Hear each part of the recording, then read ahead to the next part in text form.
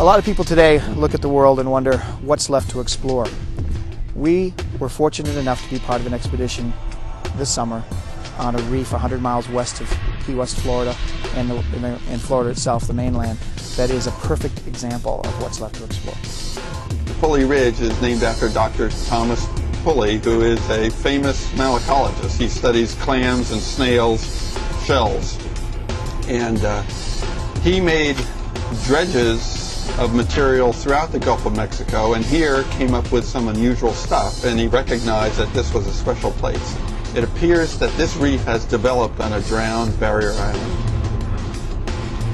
The barrier island would have been an island 12 or 14,000 years ago when sea level was 200 to 250 feet deeper. The Pulley Ridge expedition gives us an opportunity to focus on really exceptional ecosystem, one that has only been known in fairly recent times. People have known about coral reefs probably as long as people have been around. But this particular deep water reef, characterized by an unusual assemblage of these uh, colorful blue, purple corals, and green, green algae growing at depths that are unusual for such lush forms of vegetation to occur. I'm continually surprised by the variety of life on the seafloor. Now we're working at a depth where it is at high noon on a bright sunny summer day, it's dusk. Mm-hmm. It's almost, in terms of sunlight, it's as if you're up toward the North Pole in the winter. Photosynthesis is how this planet survives, how we get energy. All energy, even oil, is based on solar power, billions of year old solar power. How plants turn that into energy is, is an amazing science. But how a plant at 250 feet of water can take 1 to 2% sunlight and turn it into a, a, a plant that is, is you know, a, a, meter by a meter is simply amazing. A green plant, is simply amazing.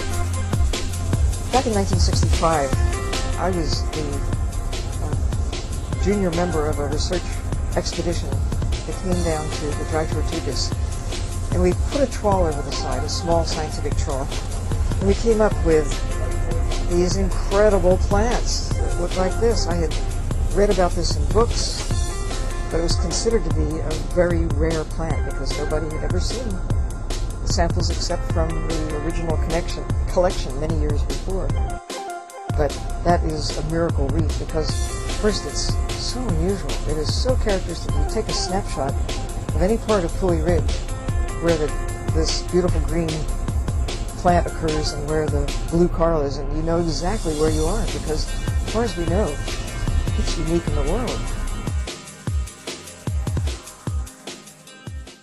In the last 50 years, there has been a precipitous decline. And when I was a kid coming down to the Florida Keys, and even in Tampa Bay, and Clearwater, I, I was a student in Clearwater, Clearwater High School, when Clearwater had clear water. It doesn't anymore. Uh, we have changed the coastal waters. That's just one example. We know a fair amount about shallow water reefs, reefs in less than 100 feet of water. And as you know, they have been uh, declining in the last couple of decades. These deeper reefs we don't know much about. And a reef like the one at Pulley Ridge appears to be surprisingly healthy. Uh, we don't see signs of disease. Uh, we haven't seen any signs of coral bleaching. And what we'd like to know is can these act as refugia for the organisms to migrate from deeper waters up to shallower reefs and resupply shallow reefs with new, uh, new material. You have to realize that until 1950s, we didn't even know how old coral was.